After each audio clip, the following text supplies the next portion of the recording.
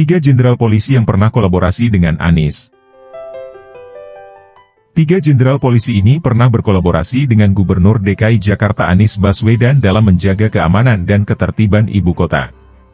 Ketiganya adalah mantan Kapolda Metro Jaya.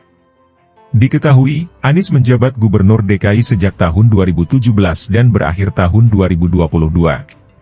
Berikut tiga jenderal polisi yang pernah berkolaborasi dengan Anies dihimpun dari berbagai sumber.